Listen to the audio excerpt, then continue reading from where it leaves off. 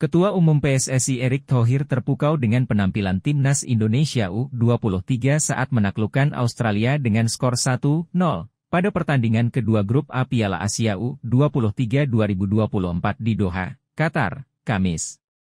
Indonesia meraih kemenangan tersebut berkat gol semata wayang Komang Teguh Trisnanda pada menit ke-45, serta aksi heroik kiper Hernando Ari yang mampu menggagalkan eksekusi penalti Australia serta melakukan beberapa penyelamatan penting.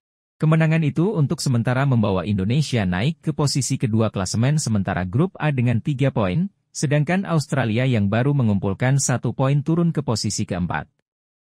Pertandingan terakhir grup A antara Indonesia melawan Jordania akan dimainkan pada Minggu, 21 April 2024, mendatang. Garuda Muda harus menduduki minimal posisi kedua di fase grup untuk dapat mengamankan tiket menuju perempat final. Mengantisipasi dengan baik. Wow! Mati hentikan oleh Hernando!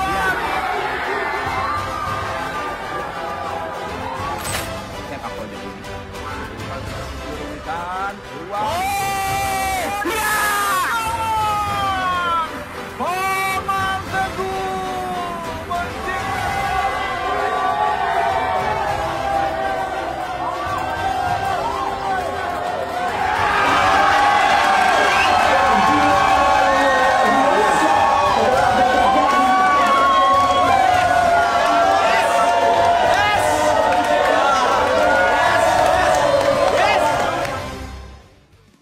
Jangan lupa subscribe ya.